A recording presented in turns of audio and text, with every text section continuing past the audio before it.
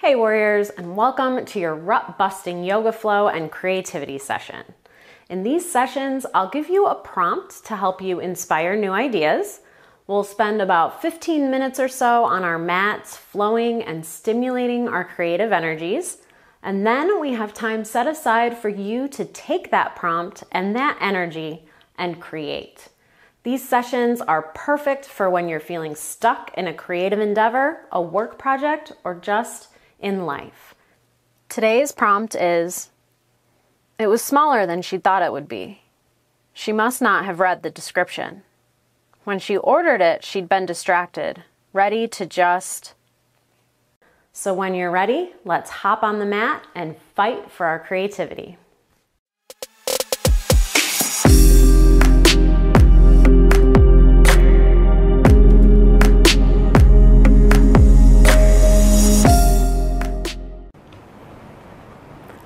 Hey warriors, in today's rut busting yoga flow, we're gonna start standing on our mats.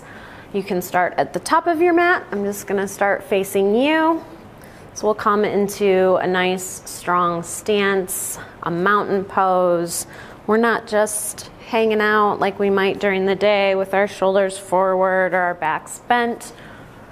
We're gonna find a nice strong posture with our head over our heart and our heart over our pelvis our belly button pulled back toward our spine to engage the core, feet planted into the mat, pressing in with all four corners.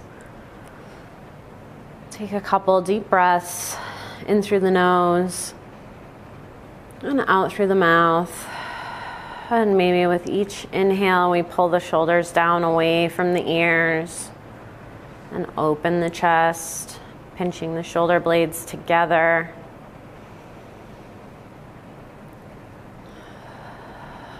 And we'll just start to invite a little movement into the body. We'll inhale, reach up overhead. And then an exhale, grab the left wrist with the right hand and pull up and over to the right side of the mat, reaching, planting that left foot and keeping the left side body pressed into toward the mat. Inhale back to center. And exhale, pulling that right arm up and over toward the right side of the mat, left side of the mat. Stretching through the right side body. Inhale back to center. And then an exhale, bring the elbows together, almost making like a, a goalpost with the arms, pulling the elbows toward each other behind the body. And exhale. And inhale back to center. And exhale, pulling the shoulders down or the elbows down and back toward each other. Inhale back to center. One more time. Exhale, the elbows together. Opening through the chest. And inhale back to center. And exhale, release the arms to the side, back into mountain. Maybe we just kind of twist to one side and then the other. Maybe take a couple couple of minutes to roll out the neck. Just inviting any movement that feels good or you feel like your body needs, depending on what you've been doing today. If you've already been moving and you're feeling good, that's great. If you need a little extra shake to get the body energized. Do what you need to do. And I'm going to make my way to the top of the mat. And we will start flowing. So we're going to inhale, reach for the sky. And exhale, swan dive forward into a forward fold, keeping the knees as bent as you need at first. Inhale to a half flat back. Making a nice seven shape with the body, bringing the hands to either the shins or the thighs. And exhale back into our fold. Inhale, reach for the sky. And exhale the arms down through center into our mountain pose. That was half sun salutation. Now we'll continue to move. Inhale, reach for the sky. Exhale, forward fold. Inhale, half flat back. Exhale, drop the hands to either side of the feet. Stepping the right foot back and then the left. Pause for an inhale in plank. And exhale, release everything to the mat, dropping the belly. Inhale to lift the chin and the chest away from the mat for baby cobra, pulling the elbows together through the center body. Exhale, release. Inhale, pause. And exhale, pushing up through our plank and all the way back into our downward dog, lifting the hips up and back. Inhale and exhale. And the next inhale, we'll plant the left foot, lift the right foot up off the mat toward the back of the room, up into a three legged dog, keeping the hips even. Exhale. On the next inhale, lift a little higher. And on the next exhale, bring that right knee toward the chest and that right foot up between the hands to the top of the mat, giving it a little help if you need. Coming into a runner's lunge, so you can move that left foot back toward the mat for a little more space. And we can be here, or if this doesn't feel good or stable to you, you can always drop that left knee to the mat and be here either is great. Then we'll go ahead and plant that left hand into the mat. We're going to reach that right arm up toward the sky, twisting toward, twisting our chest open toward that right knee, just twisting at the waist, pressing that left heel toward the back of the mat, reaching up through the right fingertips. Inhale. And exhale. You can even drop that right hand back behind the small of the back for to open the chest a little bit more. Or you can bring that right hand up back toward the sky. Inhale through the fingertips. And exhale, drop that right hand back to the mat You can go ahead and drop that left knee, bringing the bum, if it isn't already there, bringing the bum back toward that back heel, straightening through that right leg, lifting the toes up off the ground for half split, keeping the fingertips either up by the feet or pulling them back wherever feels stable pulling that right hip back. Keeping those toes pressed into the mat, the back toes. We'll exhale, start to bend through that right leg, stacking the right knee over right ankle. Lift that left uh, knee up off the mat. Plant the hands, step the right foot back to meet the left. Inhale at the top of the plank. Exhale, release everything to the mat. Inhale, baby cobra. Exhale, release. Inhale. Exhale, pushing up into our plank and all the way back through to our downward dog. Take an inhale and an exhale finding your footing, finding stability, pressing through all 10 fingers to take some pressure out of the wrists, dropping that right heel, pressing the right foot into the mat. We'll lift the left up off the mat, up and back into a three legged dog, keeping the shoulders and the hips even. Inhale a little higher. And exhale, bringing the left knee toward the chest and the left foot up between the hands to the top of the mat, giving it a little help. And that right knee can be up off the mat. You can scooch that right foot closer to the back of the mat if you need. And if you need a little extra stability, just go ahead and drop that right knee. We'll plant that right hand into the mat, just to the right of the left foot. And we'll lift that left hand up toward the sky, opening the chest toward that right knee, twisting at the waist, reaching up through that left hand. Can always drop the left hand back behind the small of the back to open the chest and the shoulders. Or keep that left hand reaching toward the sky. Inhale. And exhale, we'll drop the left hand back to the mat. Drop that right knee, keeping those toes tucked. That starting to press the bum back toward the heels. Don't have to touch. Straightening through that left leg, lifting that left foot and those left toes back toward the face. Your hands can either be up by the foot or back, wherever you need them to create the most stability. Just stretching through that left leg to our half split.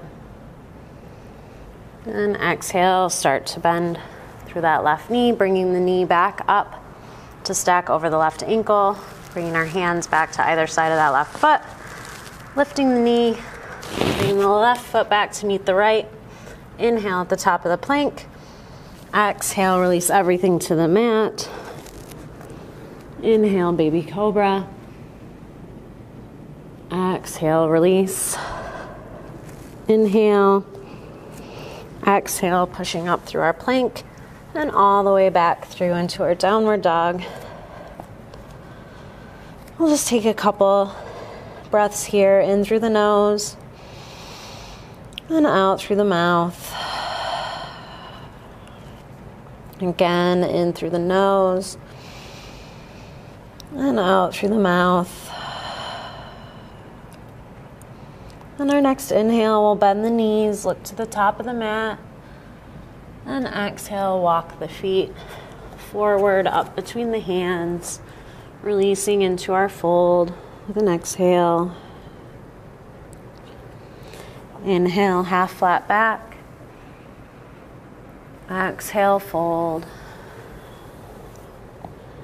And inhale, reaching for the sky, straighten through the waist. Reaching the fingertips, maybe bringing the hands together, gazing at the hands. And exhale, bring the hands down through center into our mountain pose. Taking a couple deep breaths, maybe to steady. Bring the breath back to a steady pace. And now, instead of Shavasana, I invite you to take a few moments and let the energy that you've cultivated in your practice spill out into your creative medium.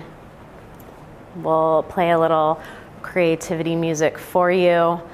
I thank you so much for practicing with me today. Namaste, warriors. Now go forth and create. Welcome to your creativity session. Don't worry about pausing or turning off the video. We'll play some music to keep your creativity flowing as you work. Challenge yourself to keep going until the video ends. You got this. And if you appreciate these videos, don't forget to like, share, and subscribe. Today's prompt is It was smaller than she thought it would be. She must not have read the description. When she ordered it, she'd been distracted, ready to just